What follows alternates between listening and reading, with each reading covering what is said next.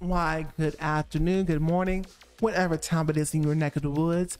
Welcome back to another episode of The Truth Is. My name is Payton 3.0. Okay? The EDM and drum set vocalist Zombie Supreme. Today we're not talking about EDM. This, of course, is about The Truth Is, talking about subjects that are rarely talked about or in everyday conversations that I need to bring up, okay? If you like what you're here today, please hit the like button, share with your friends, comment. Let's get right on to it. This is Payton 3.0's The Truth Is.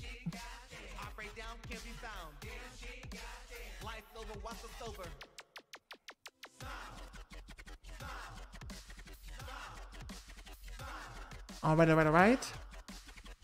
This episode is called There Are No More Innovators in the Music Scene Right Now.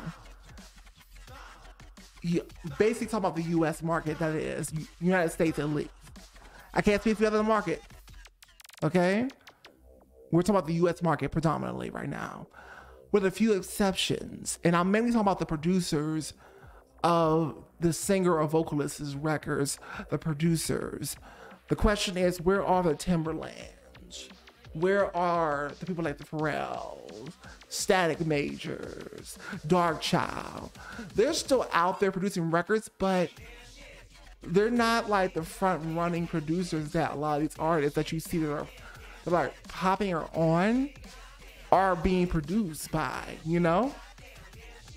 a lot of a lot of what's going on, and I realized this during the 2010s, um, where a lot of stuff that we heard was not innovative at all. You might have got zero zero zero point one percent of innovation, but mostly like that innovation died within the early 2010 um, 2000s.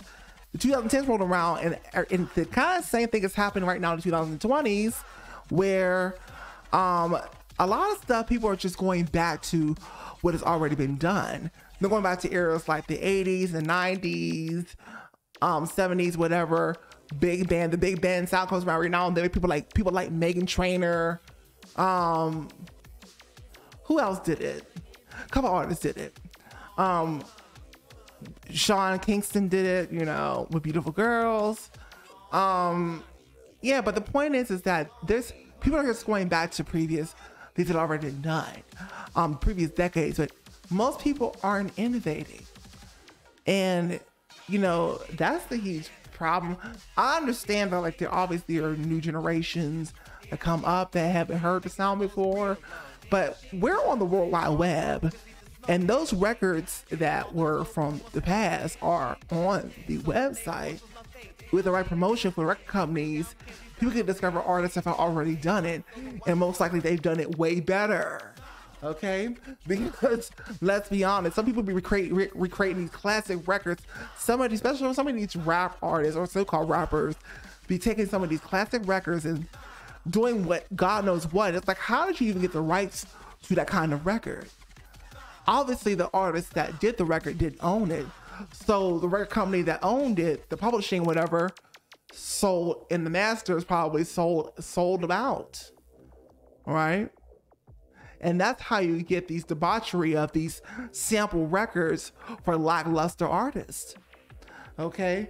But then you have people going back to the retro genres. Like i, I enjoy the Dua Lipa right?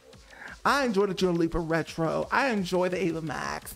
Um, i enjoy i enjoy and actually ava max is kind of innovative the way she did it.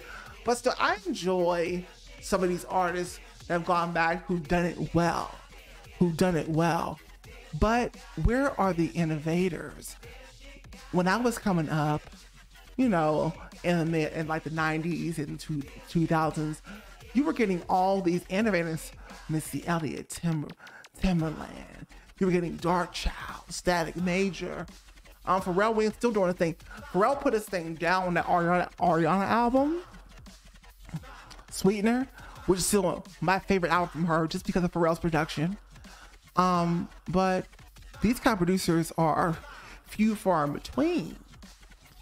And the sounds that are quote unquote not retro or whatever or from past decades, It's just these homogenized trap kind of sounds going around. And it's kind of crazy how trap somehow is still going.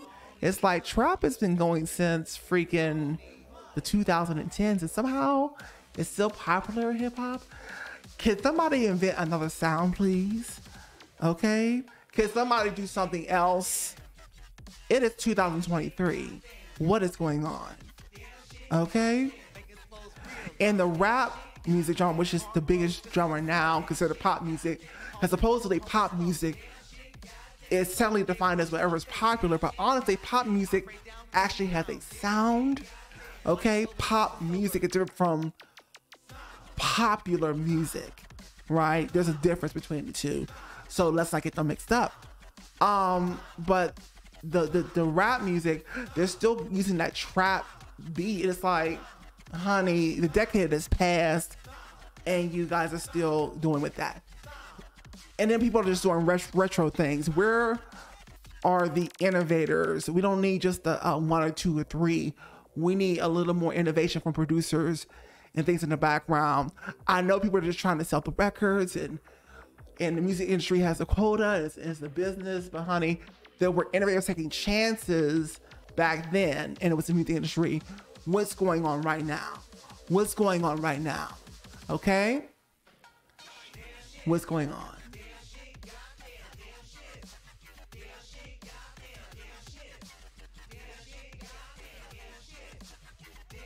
Because I find myself going back to artists that have already did sounds better. And there's an artist, one or two, that maybe in the mainstream that I think did a really good job on their record, and I'm I'm listening to them. But that's few far in between. Most records I'm not even that excited about. Like I used to be. And I'm an artiste who loves music. Wow.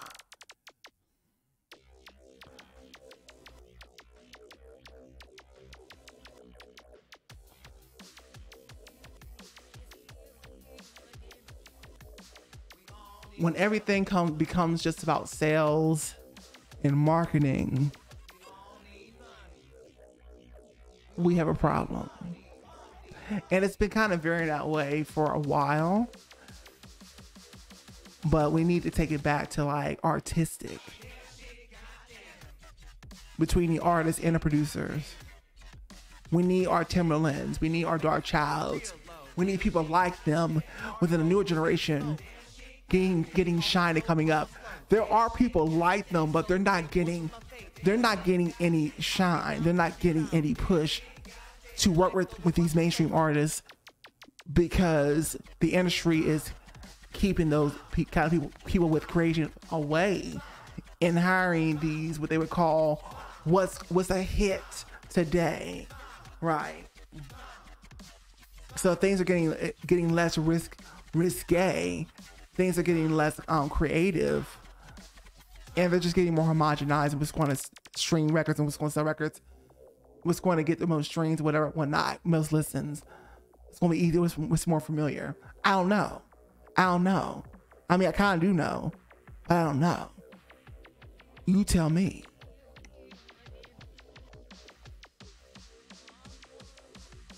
Right? So anyway um, that's my rant on there are basically no more innovators. There's only few far in between, but for the most part, they just they're not coming around enough. You know what I'm saying? The music industry has a huge problem. And I don't think it's gonna be fixed anytime soon. So thank you. This has been this has been this episode of The Truth Is. My name is Payton 3.0, the EDM and drum set vocalist Zombie Supreme.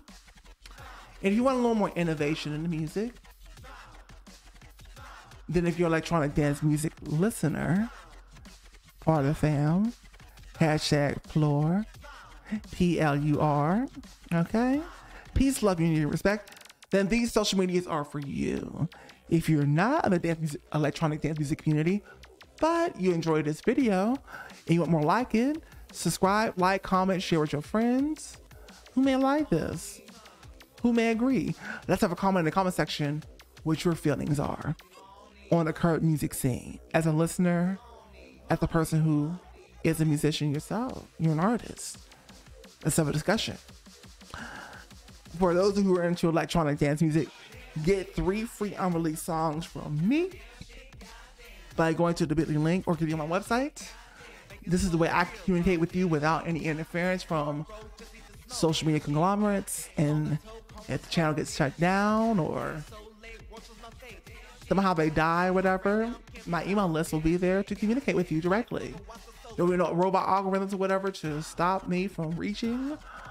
As long as I follow the rules of email, my emails always get through to communicate. Whether it's about my albums coming out, whether it's about merchandise, surveys, something fan club clubs or whatever, Patreons, I don't know, to involve you in the experience as well. Artwork, whatever. Get on the email list and get three free unreleased songs from me. The SoundCloud only has one song that's available, and that's all there will be for the time being. And this this one is more for like an electro house song, which I actually video to this that song called Turn Up. Okay, but anyway, thank you so much. Click on the playlist for the rest of the Truth Is series videos in this series, and I'll see you on the next episode of The Truth Is. Bye bye.